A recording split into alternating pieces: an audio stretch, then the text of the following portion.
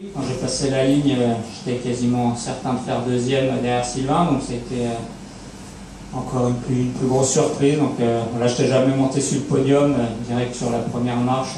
Je suis forcément content, c'est sûr.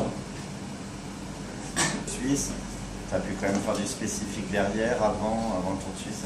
Euh, non, euh, enfin, après ma chute, euh, j'ai pu faire que de l'homme trainer. Donc euh, pendant trois semaines, j'ai fait de l'homme trainer avec le vélo chrono parce que j'avais le bras au début dans le plat et après euh, dans une. Donc pas, en juste en reprenant le- l'entraînement, ça m'a fait du spécifique euh, matin, après-midi sur le chrono pour travailler la position. Je pense qu'il n'y a pas mieux. Même si à la fin, euh, je pouvais plus le voir ce vélo, mais finalement, ça, a payé aujourd'hui.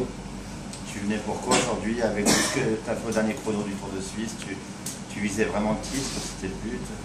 Non, le titre, euh, je ne croyais pas trop avec, euh, avec Sylvain. Euh, je pense que même si aujourd'hui il fait troisième, ça reste le meilleur français. On a fait deux mois sans compétition presque, forcément sur un circuit exigeant. Je pense que ça lui a coûté un peu dans le final. Maintenant, je venais plus pour, pour un podium, j'espérais, même si c'est jamais facile. Maintenant, le, maillot tricolore, c'est la cerise sous le gâteau. c'est vraiment le truc que je m'attendais pas du tout aujourd'hui.